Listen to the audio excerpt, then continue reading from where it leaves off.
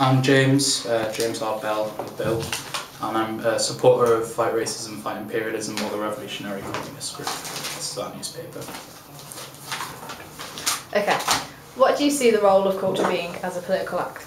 It's a difficult question because I think culture plays a lot of different and important roles. I think that culture, in terms of consumable culture, is different from general culture. So, general culture would be like things like common sense, which can be like a fair day's pay for a fair day's work, which is obviously under capitalism, that still equals exploitation, so it's a form of political control.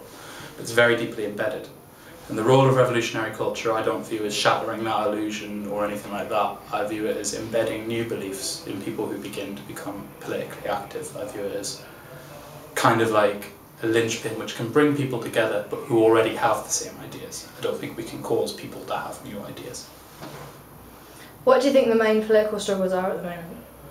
Not here. um, I think, but uh, yeah, if you look at it on a world scale stage, you've got the you know the Kurdish revolutionary struggle, um, the, the revolutionary struggle in Venezuela, and the, the resistance in Palestine, and those three struggles I think are on the forefront of class war.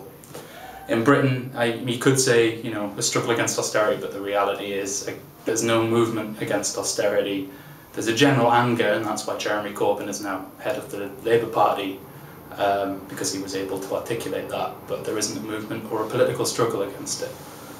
I think in the future we're going to see a drastic change in these things, and the autumn statement is kind of a, a key to that because it, it's, it, it's a slowing down of austerity, and I think the reason for that is quite simple.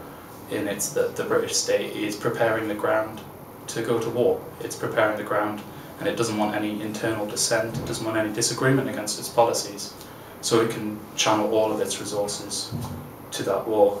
And I think on a global scale, the nature of struggle is going to change very, very, very quickly because I think we're heading towards a world imperialist confrontation. And why are you political? My dad grew up in Percy Main. That's all I can really say about that. Okay.